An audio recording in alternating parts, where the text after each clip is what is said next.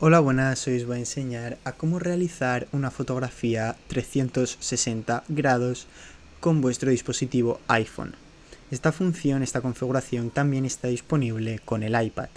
Bien, como sabréis, Apple nos da la opción de hacer fotografías 360 grados para grabar lo que tenéis en vuestro ambiente. Bien, para hacerlo primero todo nos meteremos en la cámara.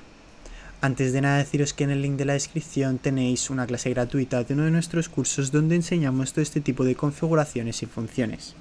Bien, una vez tengamos la cámara, lo que haremos será darle hacia la derecha hasta llegar a pano. De este modo lo que haremos será darle a grabación e ir rotando toda la vez que nosotros queramos. Imaginemos que yo me quedo aquí.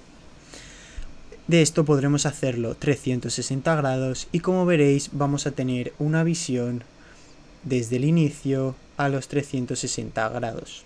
Como veis aquí en la botella yo me he equivocado, he movido un poco el móvil, pero si lo hacéis de manera plana os va a salir perfecta. Así que nada, esto es todo. Hasta luego, gracias.